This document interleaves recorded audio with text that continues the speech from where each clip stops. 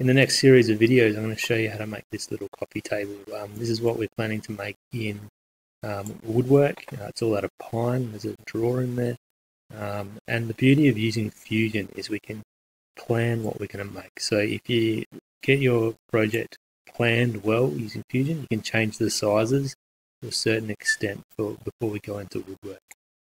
Um, with Fusion, we have the ability to kind of make this parts list, so it shows us all our parts um, labeled up, so the drawer in pieces and also um, the main cabinet in pieces as well. Um, this is a pretty simple table, but um, as you can see, these are all the parts we're going to need to prepare in wood to produce it.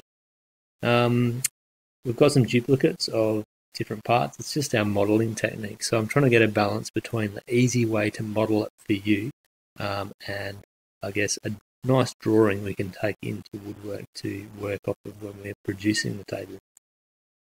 This is our working drawing as well. So I've got two details here.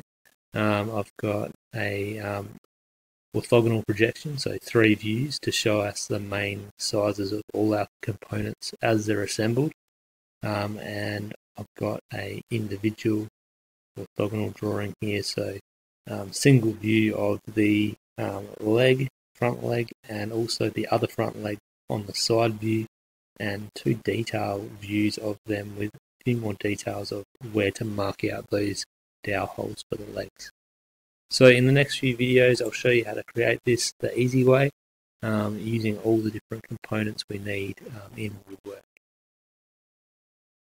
Before we get going on the modeling, I really want you to understand um, a kind of orbit view shortcut. So this orbit view here, if I click it, I can you can see how I can orbit the model around.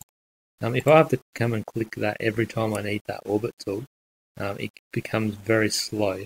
So I recommend using a mouse. Um, the center roller wheel of your mouse will zoom out and in.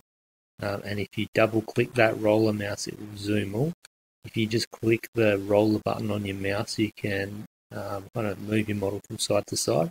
And if you hold shift down, click the roller button on your mouse and um, I guess move your mouse left and right, it will orbit your model. Um, you'll see me in the next few videos like very quickly orbiting the model from left to right to choose certain components. Um, if you can get that, um, I guess, mastered fairly quickly, you will model this project um, with a lot more ease than if you're just using the, the scroll pad on your uh, on your Macs or your your laptops.